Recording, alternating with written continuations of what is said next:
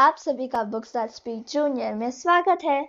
मैं स्तुति हूँ और आज मैं आपको एक हिंदी कहानी सुनाने वाली हूँ। चलो, शुरू करें।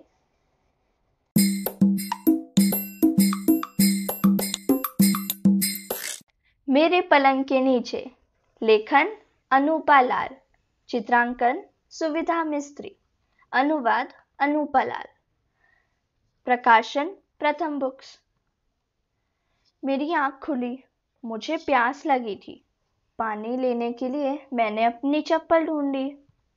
हाय, मेरे पलंग के नीचे शेर है। अब क्या करूँ? माँ को बुलाऊं? कहीं शेर दहाड़ने लगा तो? फिर से सो जाऊँ, मगर नींद नहीं आती। अचानक से किसी ने बत्ती जलाई। दरवाजे पर माँ खड़ी है। क्या बात है बेटा? माँ माँ कहती है, मुझे बुलाया था। मैं शेर की ओर इशारा करता हूँ। माँ झुकती है और शेर को खींचकर बाहर निकालती है। अरे, ये कोई शेर वेर नहीं है। ये तो मेरा मोटा, पीला, काला स्वेटर है। इसके बटन शेर की आँखों की तरह चमकते हैं। मैं तो ऐसे ही डर गया। माँ मुझे पानी पिलाती हैं। अब मैं सो जाऊँगा। जंगल में असली शेर के सपने जो देखने हैं।